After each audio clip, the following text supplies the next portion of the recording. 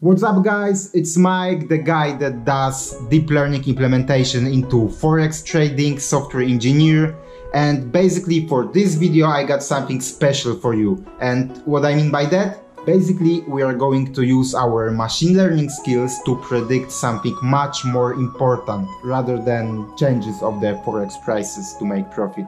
So guys, we all know that right now we are in the first stage of pandemia Okay, it's not pandemia, is but we are heading in the epidemia direction. So-called coronavirus came out from Wuhan, China, and it's spreading around the whole world, killing people. So right now we are in the global crisis and people like us that know how to code and know how to use machine learning can contribute to this case by creating models that can predict the behavior of the coronavirus outbreak on the following days.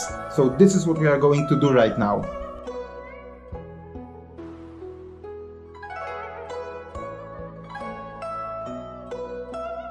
Okay guys, first step, what we need to do? We need to get the data. So if you go to the Google and search coronavirus dataset, you will find a dataset that is being updated real time on a Google Drive. And you can also find a visualization of this dataset but we are going to do our own visualization and research. So let's download this dataset and then open your Jupyter Notebook or Google Colab page. Okay guys, so the first thing we need to do, we need to do some imports of the libraries we are going to work on. So basically these are the libraries. Pandas, Plotly, sklearn, TensorFlow, Keras, Collections, NumPy, Matplotlib, the most popular ones. Okay, so we got we are going to run this, ah, let, let me do this correctly. Okay, so the imports are done. The next thing is to actually load the dataset we downloaded. So for this case, you can just upload your dataset into your Google Drive and then load it from that place, like I did in my notebook. So let's load this. Drive already mounted. Okay, that's correct. Virus data let's move it into the CSV format and then show it. So guys, how it's so the whole data set looks like this. So we got the date, the province state, the country, the last updated and the confirmed infections, the deaths, and we got also the recovered ones. Okay, so the next step would be actually to get some insights of this data set. So let me run this one from this cell, we will generate the chart with the infections from, from the end of January till now. So basically you can see the uptrend, the strong uptrend without any without any corrections. I can also see that the momentum is very strong because if you look on this data set closely, you can see that the gap between each point is bigger than before.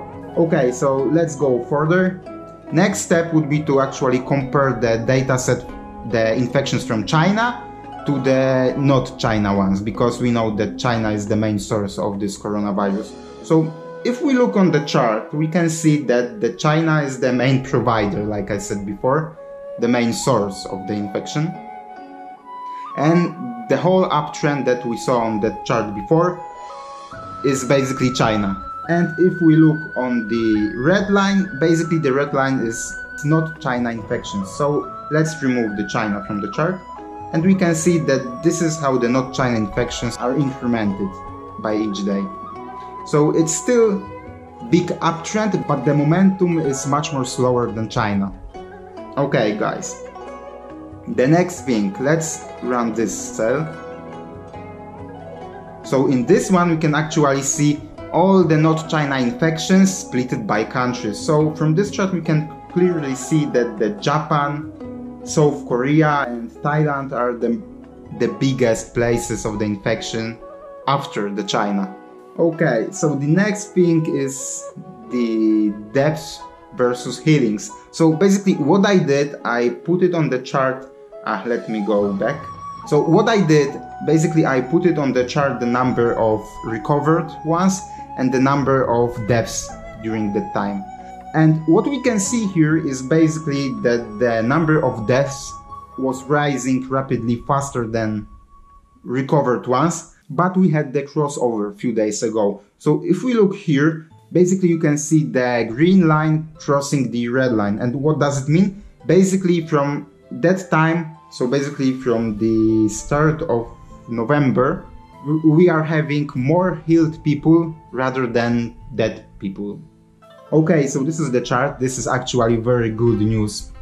And it means that the virus is not so deadly like it was one month ago.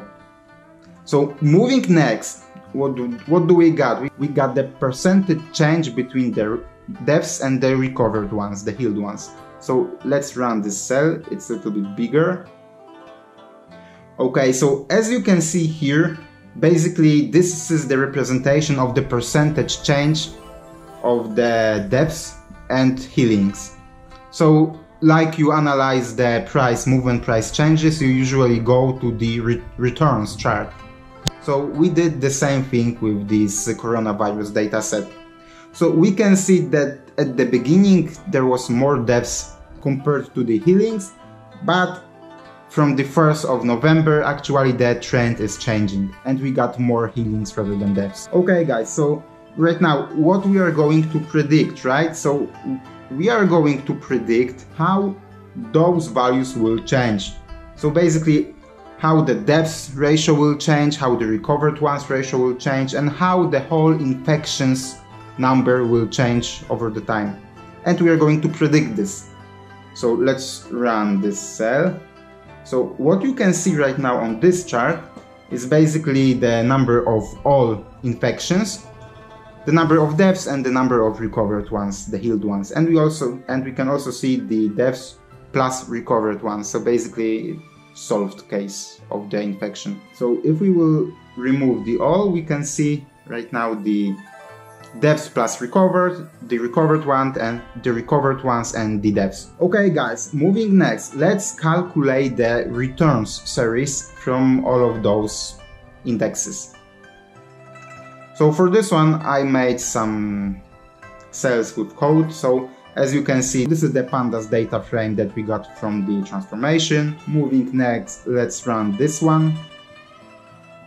Okay, so this is after the next transformation. We can see the all deaths, all recovered ones, and the percentage change here right now. So you can see the infections percentage change, the recovered percentage change, and the death percentage change. Okay, so moving next, what do we got here? Let's put it on the chart, right? Okay, so the chart looks like this. So we can see right now on this chart that the percentage change, so the momentum, was much more bigger and at the beginning when it comes to deaths and the rise of the infection, the spreading of the coronavirus. But after some time, you can see that the green line is going above the orange one and the red one. So what that means basically that the percentage change of the healed people is rising. So basically we are getting momentum into healing people. So like I said, it's very good news. So let's check what this dataset got more for us. So when it comes to machine learning, we need loads of points, but we don't have it. We got like one month worth of data. Let's check Oh wait, we got even less than one month worth of data. So what I did, basically, I, I took the difference between one day and the other day and split it by hours. So basically I turned one data point to the 24 data points and the data set is much more larger. So for this one I made this cell. As you can see the method called increase data. Let's run this. And we got much more data points. 24 times more data points. And as you can see we got the total infections number we got the number of deaths and number of recovered people. Okay moving next let's put all of those data on the chart right? So let's run this cell with the plotly chart. And as you can see the chart looks pretty much the same. Not that one. Like that one right? Let's put all yes. So as you can see this one is splitted by days. And that one is splitted by hours. So if you check every single data point you can see the change during the hour.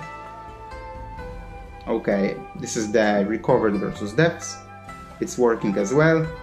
Okay guys, so the next step would be actually to calculate the percentage and we can see the percentage change of the all three indexes.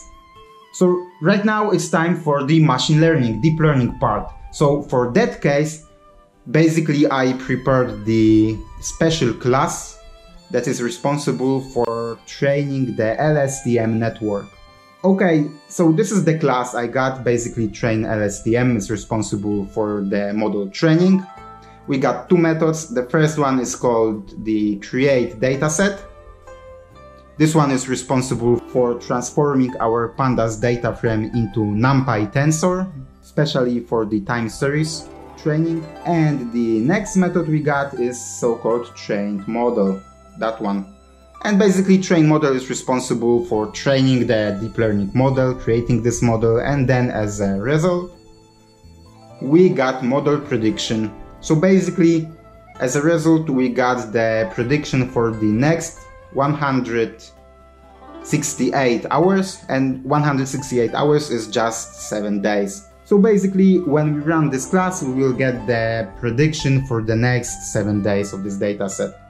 So guys, let me run this. And as you can see, the training of the deep learning model just started. So let's wait a little bit for the model to complete the training.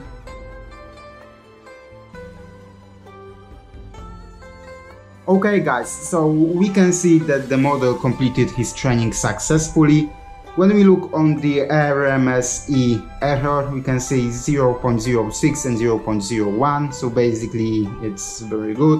When we look on the loss, we can see that the loss is actually decreasing after epochs.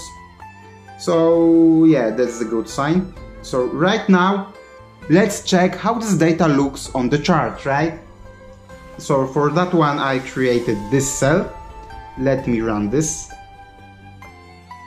and this is what we got guys. This is what we got. So basically this uh, green line is basically the predicted result of healings the predicted change of each hour of healings for the next seven days. The red one is the number of deaths and the orange one is basically the number of all of all infections so what we can see right now, we can see that the number of deaths is basically going up and down, up and down. So the volatility of deaths after each hour is basically huge and according to this prediction it should be bigger and bigger. But when we look on the increase of the total number of infections and total number of healings, we can see, let me just make it like this, we can see that the number of uh, total infections and healings is pretty much stable. So it's going in one direction with low momentum, but with stable trend. Okay, guys, so let's transform this data a little bit. For that one, I created a function called final chart calculation that is basically creating a, that's making calculation for me. And now let's check how the prediction looks for the next 7 days of the coronavirus outbreak when it comes to growth. Okay. So we can see like this. Basically guys, this is the great news. Why? Because when we look on this chart, we can see that the green line is the growth of the healings. And we can see that it's skyrocketing. So basically, this thing is predicting that the momentum of the healings will be bigger and bigger and bigger. The number of deaths will be pretty much going upside down, but the growth will be much more slower than the number of recovered people. And the number of infections will also go a little bit higher, but, but still the momentum will be lower than the number of healings. So basically, this prediction looks awesome. It doesn't tell us that the number of the coronavirus infection will be lower than before, but it tells us that the number of healed people will be rapidly increasing. So after few weeks, maybe months, we will get to this point that the number of healed people will actually exceed the number of the all infections and the coronavirus will be defeated. So let's check right now how does it look like with the real data set, right? I think everyone is curious about the numbers, the number of total infections after 7 days, let's say. Okay, so the chart is generated. So what we can see right now, we can see that after 7 days we supposed to have 103,000 of infections. So right now I think it's around uh, 23, 24, 28,000. So after 7 days the model predicted that basically this number will quadruple and we will have 123,000 of infections. So I think having in mind the behavior of coronavirus spreading around the world, it's possible. Let's check the number of healed people. So after 7 days we should have 18,000 of healed people. So right now we got 1,000. So you can see the growth is huge. And when we look on the number of deaths, let's make a closer look. You can see right now that the momentum, that the trend actually is going up and down, up and down. So basically we will get to this point that we will have some kind of average of deaths caused by coronavirus per day and it will not increase. So guys, this is the prediction and right now I would like you to have in mind that this is all maths. We are not taking into the consideration the social behavior of people, the connection, the flight connections. We just take numbers, make models and make prediction. And sometimes those models are actually accurate. So guys, anyway, thank you for watching this stuff. I know it's a little bit different than the videos I made before, but still it's somehow related to machine learning and prediction of time series dataset. And anyway, if you like those videos, if you like the stuff that I'm doing, just hit the like button and subscribe to my channel and share the video with your friends if you got friends interested in those topics as well. It really helps me stay motivated and do more stuff like this. If you have something in your mind about this topic, coronavirus, or maybe you got requests on new videos, just put them in the comments, I will reply to all of them. And anyway, thank you for watching and see you soon in the next Monday.